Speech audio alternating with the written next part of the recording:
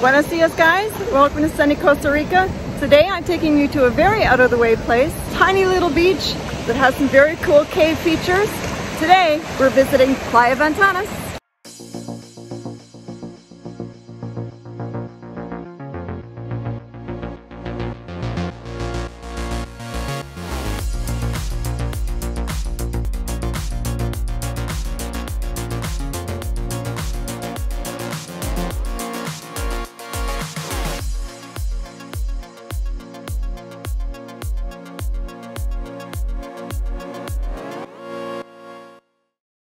So Playa Ventanas Beach is on the South Pacific side of the country, about 15 kilometers south of Uvita Beach.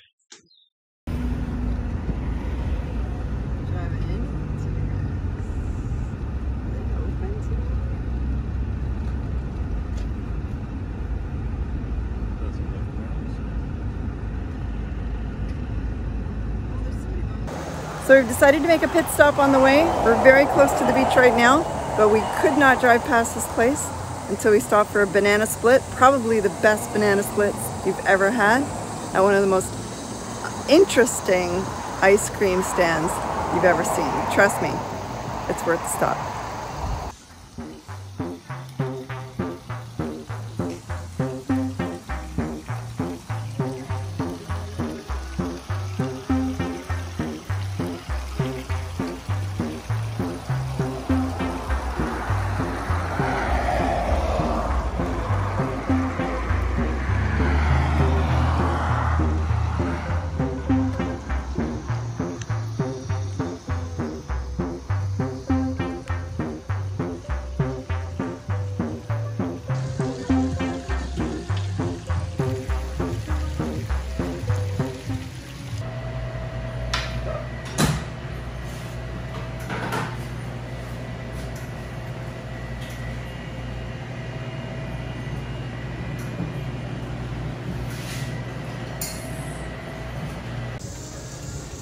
Okay guys, so I have what is quite possibly the best possible banana split ever. I got bubblegum flavor, mint chocolate chip, and vanilla with like a vanilla ice sauce and three maraschino cherries. I gotta tell you guys, I've never had ice cream as good as I've had in Costa Rica. And I don't even actually like ice cream that much, but it's so good here. You have to stop here if you're in the area. Show you. So we're about three kilometers away from the beach. We've just finished our ice cream and we're headed back.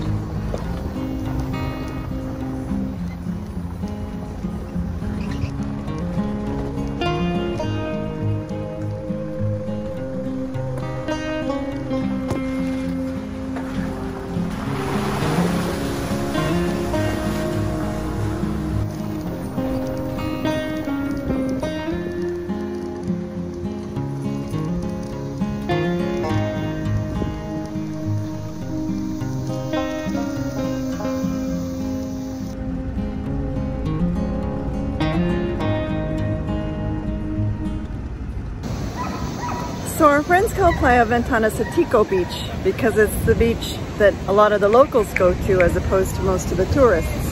It's pretty small, unrefined, but it's still breathtakingly beautiful and we kind of like that it's a little out of the way. And I can't get enough of these caves. When the tide's really low, you can actually walk through though. I've done it. Today it looks like it's probably a bad day to do that. Tide's not very high, but it looks like the water inside the caves is very tumultuous and I'm a terrible swimmer. If you want a quiet, beautiful beach, this is definitely the place to come. It's worth a little bit of a drive.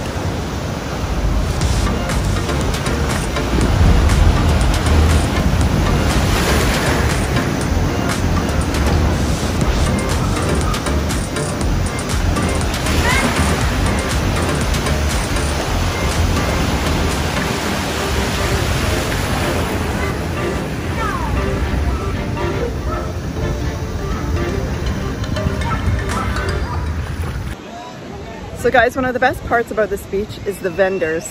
You can literally get almost anything you want here. They rent out the big canopies for you to use on the beach, tables and chairs, sun chairs. You can get souvenirs here. You can get coconuts. They'll fry fresh fish right on the beach for you. Handmade margaritas. Just about anything you could possibly want, including, if you're really inclined, an inflatable rainbow unicorn.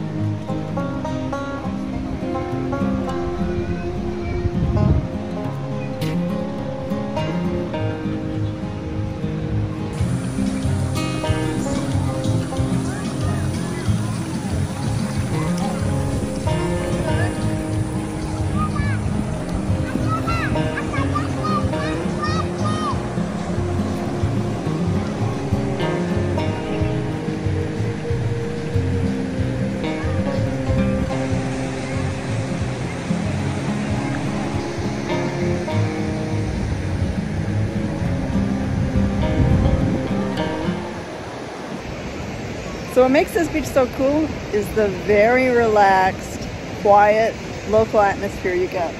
I mean, there's there's quite a few people here, but it's quiet still, and everybody's minding their own business. They're all just enjoying the sun and the sand. Not like a tourist beach at all. I can understand why the locals come here.